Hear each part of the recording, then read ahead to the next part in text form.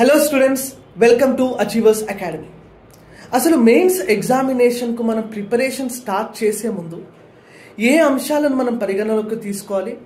What are the must know things before the mains examination అన్నటువంటి కొన్ని రెండు మూడు మాటలు ఈరోజు ఈ వీడియోలో మనం మాట్లాడుకుందాము.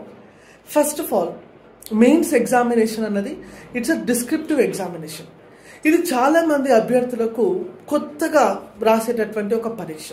అంటే ఆబ్జెక్టివ్లో మీకు నాలెడ్జ్ ఉండి ఉండవచ్చు కానీ డిస్క్రిప్టివ్ సెన్స్లో ఆ నాలెడ్జ్ని ప్రజెంట్ చేయడమే ఈ మెయిన్స్ యొక్క డిమాండ్ ఆఫ్ ద ఎగ్జామినేషన్ అందుకోసమే మెయిన్స్ ఎగ్జామినేషన్కి ప్రిపరేషన్ చేయాలనంటే మెయిన్స్ సిలబస్ మొత్తాన్ని కూడా ఒక్కసారి అందరూ గమనించండి.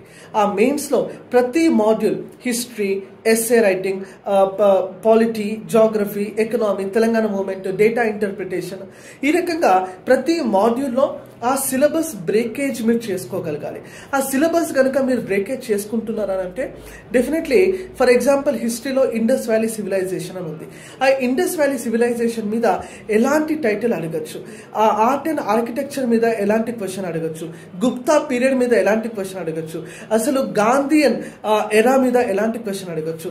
ఈ రకంగా మీకంటూ ఒక బ్రాడ్ పిక్చర్ అన్నది మైండ్లో ఉండిపోతుంది. సిలబస్ ఆధారంగానే మెయిన్స్లో క్వశ్చన్స్ అన్నవి ఫ్రేమ్ చేయడం జరుగుతుంది. ఈ ఫస్ట్ పాయింట్ని మీరందరూ కూడా సిలబస్ బ్రేకేజ్ అన్నది చేసుకోవాలి బిఫోర్ యువర్ ప్రిలిమినరీ రిజల్ట్. ఆ సిలబస్ బ్రేకేజ్ చేసుకున్న తర్వాత మీకు ఒక బ్రాడ్ పిక్చర్ అనేది మీ మైండ్లో ప్రిపేర్ అవుతుంది. హిస్టరీలో ఏ కాంపనెంట్స్ చదవాలి? పాలిటీలో ఇవి ఇవి చదవాలా? జాగ్రఫీలు ఇవి ఇవి చదవాలా? అన్న బ్రాడ్ పిక్చర్ వచ్చిన తర్వాత డైరెక్ట్గా డైలీ ప్రాక్టీస్ అయితే కంపల్సరీ చేయాలమ్మా. కానీ డైలీ ఆన్సర్ రైటింగ్ ప్రాక్టీస్ చేసేటప్పుడు ఆ లిమిటెడ్ ప్రాక్టీస్ అనేది మీరు పెట్టండి. అంటే అన్లిమిటెడ్ ఒక రోజు మీరు మూడు క్వశ్చన్లు రాస్తే నెక్స్ట్ రోజు దాన్ని నాలుగు తీసుకెళ్ళండి.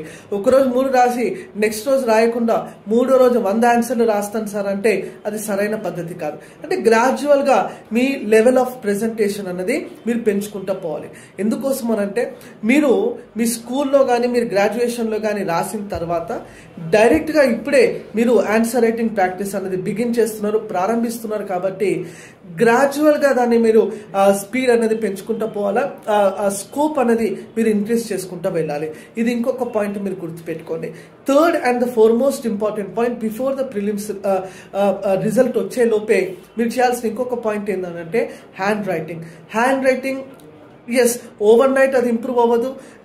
అది అది ఇంత తక్కువ పీరియడ్లో హ్యాండ్ రైటింగ్ అనేది ముత్యాల్లాగా అయితే మారదు. కానీ అట్లీస్ట్ ఎగ్జామినర్కు ఎవాల్యుయేటర్కు మీరు రాసింది అర్థం కావాలి. అర్థమయ్యే విధంగా ఉండేటట్టు ఉండేటట్టు ఉండే రకంగా మీరు మీ హ్యాండ్ రైటింగ్ని మార్చుకోండి.